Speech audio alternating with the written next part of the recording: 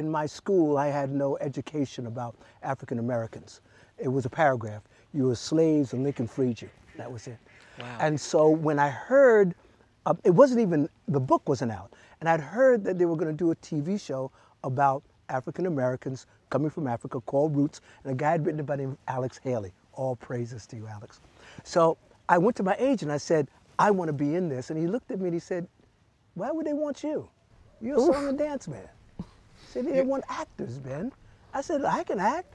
He said, Come on, come on, I'll get you. He got me another road show. So I'm, I'm on the road Wow. now with a, a little group called Sister Sledge.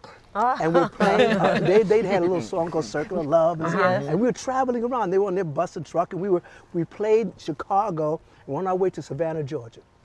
We get down to Savannah, Georgia, and I'm doing a character called Bert Williams in my act. And, uh, you know, blackface, because at one time in this country, an African American was allowed on stage unless they wore blackface. Right. And that comes way back before. So I was, I did this parody on Bert Williams, and it was at this high school. I'll never forget uh, Savannah. We get down to Savannah, and that night I took my band out to get something to eat. And uh, I turned to the guy at the desk. I said, uh, "Is there a place down here to you know, get something to eat this late at night?" He said, "Yeah, there's a Denny's down the block if you make it." Ooh. Ooh. This That is was- uh, 1970 yeah, yeah, 70 60s. something? This is, yeah, yeah. Yeah.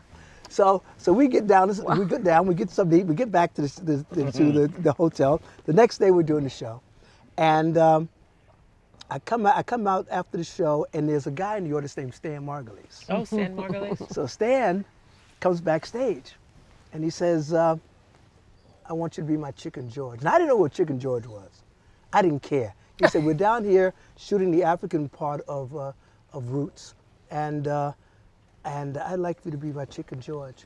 I I, I said, "Man, I, thank you." Thank you. I didn't know anything about the book. I didn't know what Chicken George was supposed to do. I just said, man, thank you. I said, I want to be a part of this. I'm on the, on the strip going, let me out of here. Let me out of here. I want to be a part of Roots. Yes. So I get the script and I find out this guy's got an age. And I'd never aged on film.